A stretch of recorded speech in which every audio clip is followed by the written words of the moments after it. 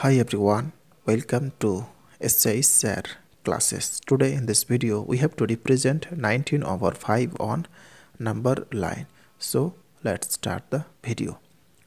First of all we have to draw here the number line. So first drawing here a line and taking arrow mark on both side and this is AB line.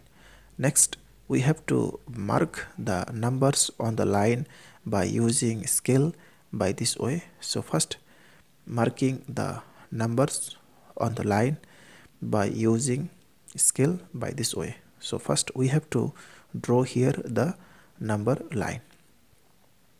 Okay. Again marking the numbers with deep color to understand perfectly. So first marking the numbers on the line by this way. And taking here starting number 0 this side minus 1 minus 2 minus 3 minus 4 and this side 1 2 3 4 5 6 7 8 9 10 now we have to divide the distance between any two number into five parts. So if you divide the distance between any two number into five parts then the length of each part equal to 0.2 unit. So now first dividing the distance between 0 to 1 so the first part is 0.2 so this is 2 and the second is 0.4 so this is 4 and the third is 0.6 so this is 6 and the fourth is 0.8 so this is 8 similarly dividing the distance between 1 to 2 so the first part is 0.2 and the second is 0.4 and the third is 0.6 and the fourth is 0.8 again dividing the distance between 2 to 3 so the first is 0.2 second is 0.4 and third is 0.6 and the fourth is 0.8 so by this way we can divide the distance between any two number into five parts.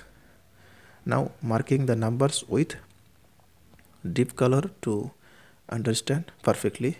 So first marking the numbers on the line with deep color by this way.